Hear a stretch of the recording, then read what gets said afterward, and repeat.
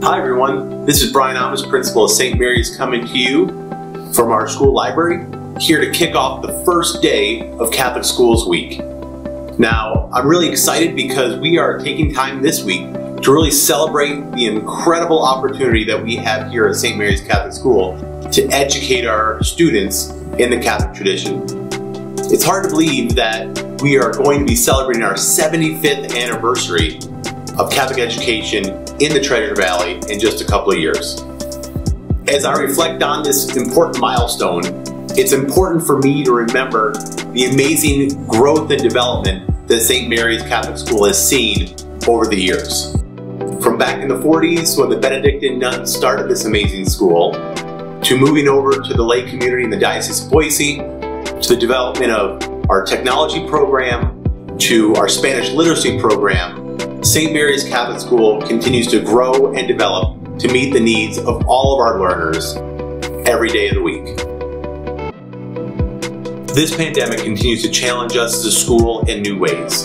It's only with your support as community members that we're able to offer high quality education to our students in person every single day. Once again, we're going to be kicking off another 300 300 campaign to be able to meet the needs of our school. I'm so grateful for the success of last year because it provided things like hospital grade air filters for our entire school. It provided the opportunity to buy technology, Chromebooks and iPads for all the students in our school. And most importantly, it helped to offset tuition so that students who really want and need a good Catholic education can afford it and their families can bring them here each and every single day. In last year's 300 300 campaign, we raised over $90,000. And I know this year we are going to be able to even match that and go beyond that.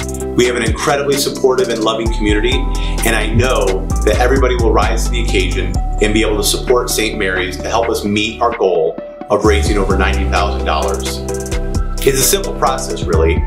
300 by 300 means we have 300 individuals or families donating $300 each. And if we can do that, we'll raise our $90,000 goal. So as we start this campaign, I would ask you all to seriously think about and reflect your ability to help support us on that. Also think about the benefits that your child or your family member receives while a student at St. Mary's and see how you can contribute and make this campaign such a success.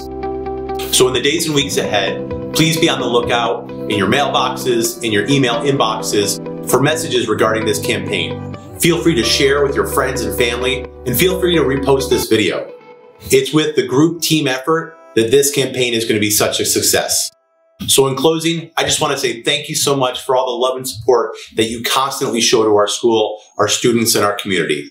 Together, we're going to be able to meet any challenge that this pandemic and any other situation presents to us today and in the future. May you all have a wonderful day and a blessed year. And remember, we are St. Mary's.